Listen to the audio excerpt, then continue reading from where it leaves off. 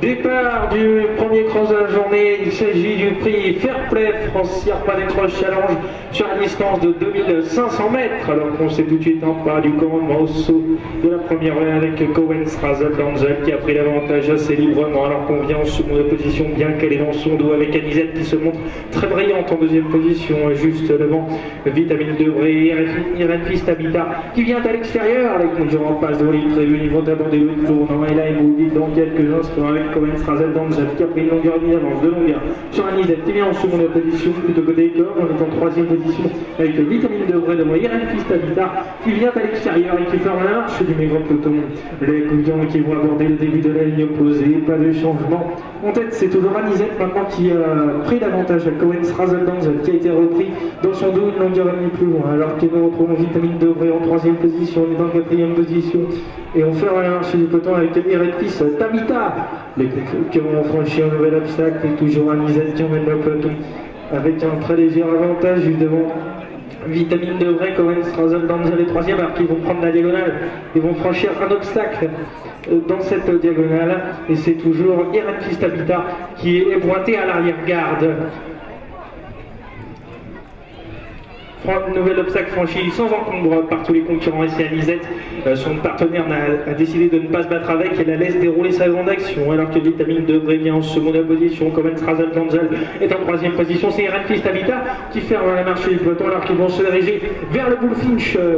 Euh, dans l'autre diagonale du fond de l'hippodrome avec Anisette qui emmène le peloton et ceci euh, depuis la mi-course maintenant alors qu'on vient avec Vitamine Degré qui est dans son dos juste devant Cohen, Strazel Danzel et Irene Fist Habitat qui ferme toujours la marche du peloton Pierre Romouy qui est très patient et qui fait preuve de sang-froid à l'arrière-garde dans cette épreuve. Les concurrents qui vont aborder le tournant et le bruit du tournant dans quelques instants. Mais on accélère en tête avec Anisette qui a toujours l'avantage. Vitamine de Brévien en seconde position. Cohen Razel Danzel est en troisième position et a franchi un petit peu brusquement cet obstacle comme étant une faute de Irene Fistabita qui est en quatrième et dernière position.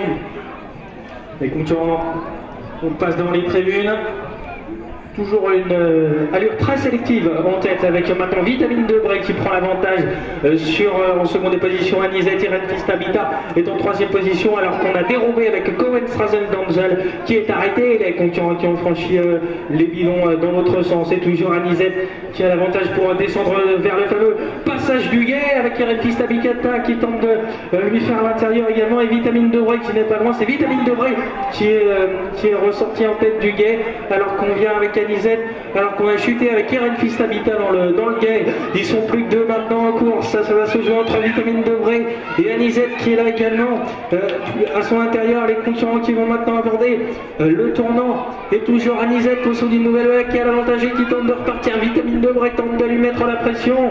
Ils viennent de franchir maintenant la banquette avec Anisette qui redescend en tête de cette banquette qui va franchir la boucle extérieure.